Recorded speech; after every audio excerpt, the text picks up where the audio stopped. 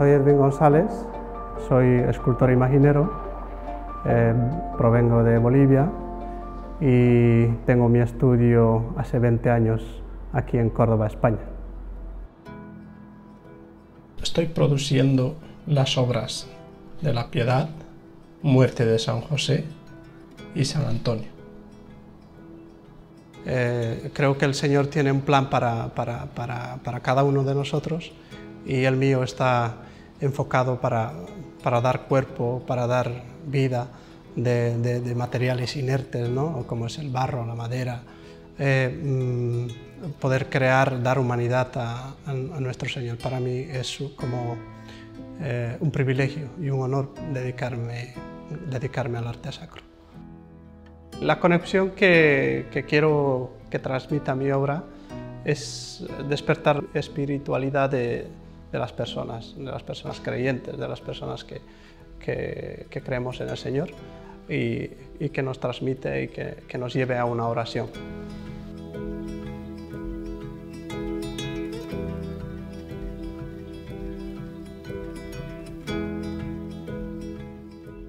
Eh, es, la imaginería es, eh, es muy delicada, hay una línea muy, muy, muy, muy, muy fina en la cual o, es grotesco o, es muy sensible, ¿no?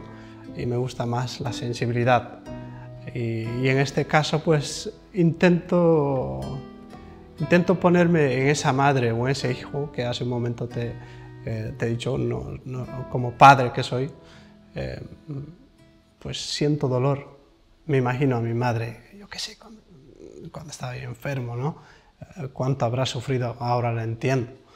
Y, como hijo, pues, eh, pues, no puedes hacer nada, ¿no? Entonces, eh, esa conexión, ese contraste de la dulzura, parece que está muerto, pero no está muerto, está como durmiendo.